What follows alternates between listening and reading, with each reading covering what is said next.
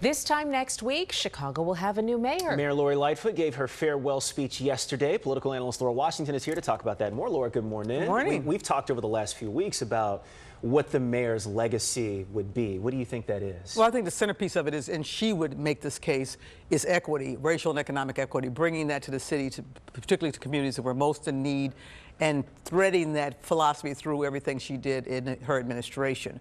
Uh, that's what she talked about yesterday. And she's the first mayor in a very long time to make that a priority. Oh, what were some of her wins during her tenure?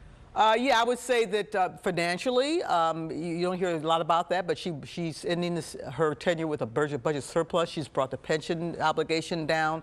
She's done a lot of things to keep the city on track financially. She's uh, she raised the minimum wage, which is really good for working families, and she and she mental health care. That was another thing that you don't hear a lot about. That mm -hmm. she mm-hmm. she increased the amount of mental health services that people get in the city. Things that didn't quite work so well for the mayor. Well, the the, the thing that, that killed her and got her out of office was public safety and crime. Yeah.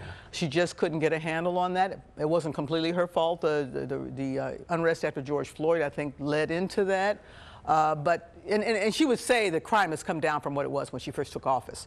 But uh, she had a police superintendent, David Brown, who really wasn't up to the job. And I think if she had recognized that much sooner and, and changed leadership, things might be different today. Interesting. Anything else you think she should have done differently?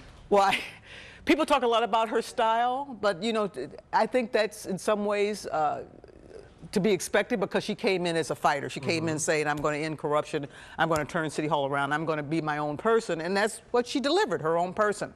Uh, you know, we, you have to be careful what you ask for sometimes. Yeah, exactly. and if and if crime and public safety was the big issue that that led to her not getting another term, we also have to see what that means for Brandon Johnson. Yep. It means that he is already behind the eight ball when it comes to, to that because we're, we're, we're he's hitting right in the summer, yep. right after he gets inaugurated. Right. And we'll have to see what kind of a plan he's going to roll out.